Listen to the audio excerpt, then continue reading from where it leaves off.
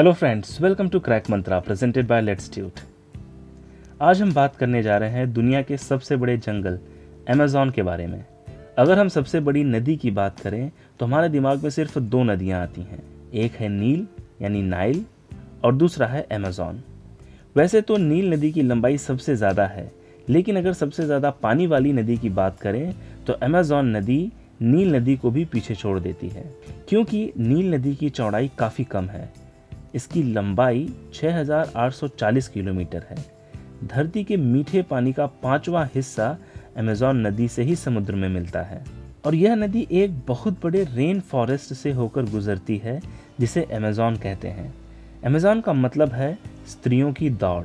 Amazon का जंगल दुनिया का सबसे बड़ा रेन फॉरेस्ट वर्षावन है। दुनिया का 20 परसेंट ऑक्सीजन यहीं से आता है। इसलिए इसे पृथ्वी का फेफड़ा भी कहते हैं, यानी लंग्स ऑफ़ अर्थ भी कहते हैं। दक्षिणी अमेरिका से ब्राज़ील तक फैले इस जंगल के बारे में कहा जाता है कि अगर ये कोई देश होता तो दुनिया का नौवां सबसे बड़ा देश होता। अमेज़ॉन जंगल कितना बड़ा है, इसका अंदाज़ा आप इसी बात से लगा सकते हैं कि यह दक्षिणी अमेरिका से लेकर ब्राज़ील तक फैला हुआ है। इसका सबसे ज़्यादा हिस्सा 58.4 परसेंट ब्राज़ील की सीमाओं के भीतर है। पेरू में 12.8 परसेंट, बोलीविया में 7.7 परसेंट, कोलंबिया में 7.1 परसेंट, वेनेजुएला में 6.1 परसेंट के साथ, गुयाना में 3.1 परसेंट, सूरीनाम में 2.5 परसेंट, फ्रेंच गुयाना में 1.4 परसेंट, इक्वाडोर में 1 परसेंट है। इसके वर्षा वन 2.1 मिलियन वर्ग मील तक फैले पड़े हैं। यहाँ इतने बड़े और लंबे पेड़ हैं कि यहाँ पर सूर्य की रोशनी तक सही से नहीं पहुँचती। यहाँ पेड़ पौधों की ऐसी प्रजातियाँ पाई जाती हैं, जिनसे एचआईवी कैंसर जैसी घातक बीमारियों का भी पूर्ण रूप से इलाज किया जा सकता है, और जीव जंतु ऐसे जो किसी चमत्कार से कम नहीं, जिन्हें देखकर आप विश्वास नहीं कर पाएँगे कि ऐसे भी जीव हैं दुनिया में। यहाँ कुछ जीव आपको इंटरेस्टिंग अवश्य लगेंगे, लेकिन कुछ तो इतने खतरनाक हैं कि जान भी बचाना मुश्किल है।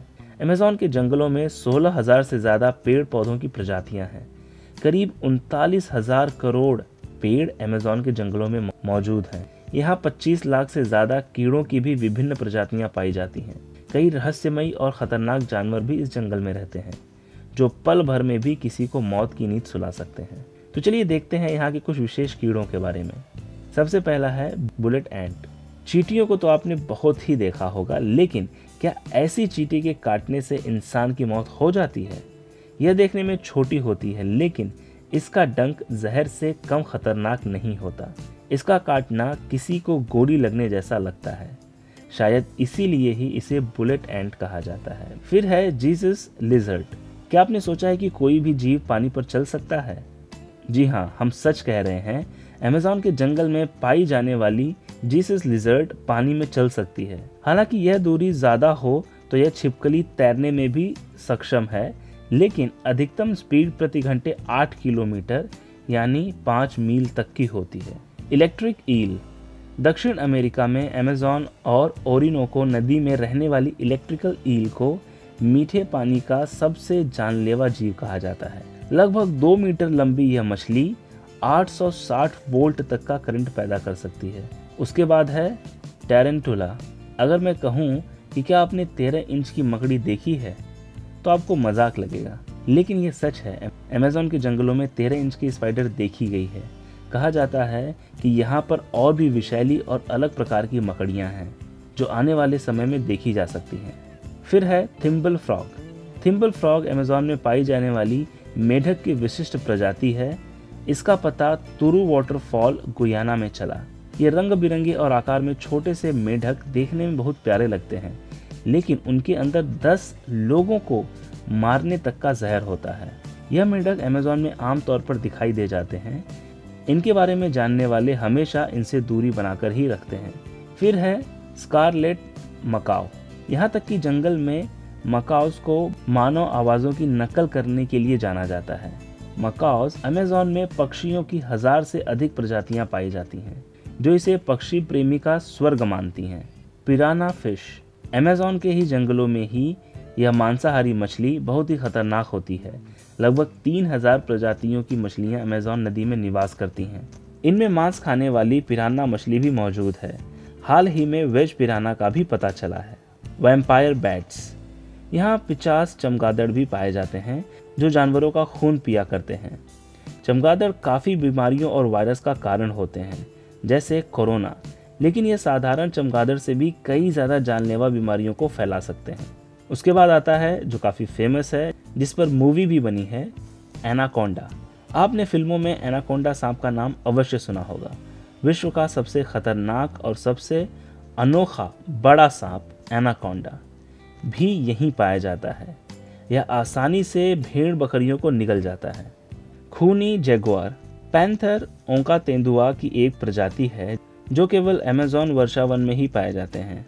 यह भारतीय महाद्वीप के आम तेंदुओं से ज़्यादा तेज और शक्तिशाली होता है। शेर और बाघ के बाद यह तीसरा सबसे शातिर शिकारी है। यह शिकार इतनी तेज़ी से झपटता है कि शिकारी को जब तक कुछ समझ में आए, उसका काम तमाम हो चुका होता है।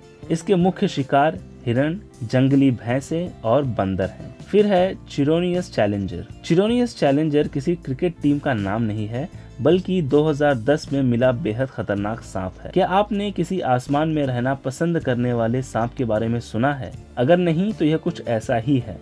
यह गुयाना ब्राज़ील बॉर्डर पर पाया जाता है। यह 1500 मीटर की ऊंचाई पर मिला।